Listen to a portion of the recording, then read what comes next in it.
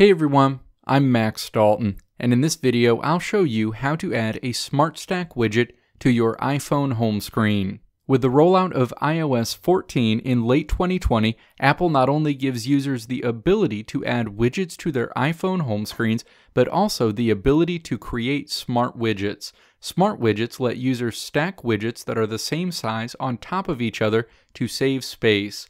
The only caveat is that you can only stack widgets that are the same size to create a smart widget. In this video, I'll show you how to create, reorganize, and delete a Smart Stack widget. Step 1. Navigate to your iPhone home screen and then hold your finger against an open space until all of the apps start to jiggle. Step 2. Tap the plus icon at the top of the screen. A window with available widgets is displayed. Step 3. Scroll through this list to see available widgets. It should be noted that you'll only see widgets for apps that you've launched at least once on your device tap the widget you want to add as part of a stack to your iPhone home screen. A window appears where you can swipe through the different types of widgets in terms of both size and content that you can add. Remember, all of the widgets you stack on top of each other must be the same size. Step 4. Tap Add Widget on the screen associated with the widget you want to add. You'll return to your iPhone home screen where your apps will still be jiggling, but you'll now see your new widget added. Repeat this process to add all of the additional widgets you want to place into a single smart stack on your iPhone home screen. Step 5. With all of the apps on your home screen still jiggling, hold your finger against one of the widgets you want to place into the smart stack, and then drag it on top of one of the other widgets you want to include in your smart stack, and then release it. The widgets will be combined into your Smart Stack. Repeat this process to add any additional widgets you want to include in this Smart Stack on your iPhone home screen. Step 6. Hold your finger against the Smart Stack widget and then either move it up or down to reposition it within the other apps on your iPhone home screen, or move it to another screen.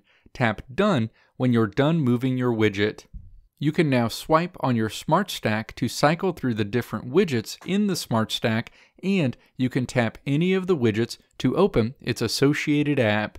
You can change the order of the widgets in the Smart Stack by holding your finger against the Smart Stack to open a menu and then tapping Edit Stack. This will bring up a screen that will show you all of the widgets in this Smart Stack hold your finger against the move icon to the right of any of the widgets you want to move and then drag it up or down in the list to move it to a different position.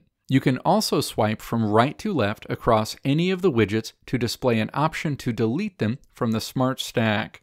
Additionally, on this screen, you can also turn Smart Rotate on or off, with Smart Rotate enabled, the Smart Stack will cycle through the widgets automatically, presenting what it assumes to be the most relevant. Alternatively, with Smart Rotate turned off, the top-facing widget will always be the last one you looked at. And finally, you can remove a Smart Stack from your iPhone home screen at any time by holding your finger against that Smart Stack to bring up a menu tapping Remove in that menu, and then tapping Remove again on the next window, asking you to confirm that you want to remove the Smart Stack. Let me know what your favorite iPhone widgets are in the comments below. If you liked what you saw here, click the video links on the right side of the screen to check out another video. Or click the logo on the left side of the screen to check out my website to see more great tutorials like this one.